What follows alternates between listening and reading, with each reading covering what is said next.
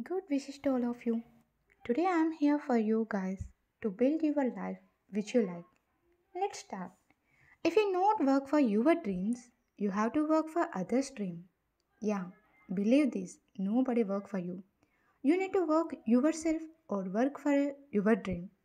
If someone supporting, it's just little bit helpful for you. But if you support for yourself to achieve your dreams, it's helpful for you plenty.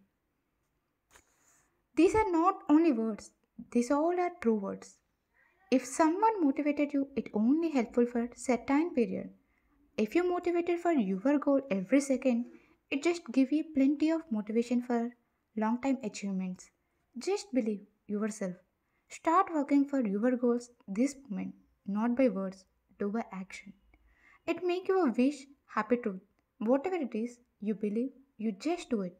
It's what I feel this time. Thank you.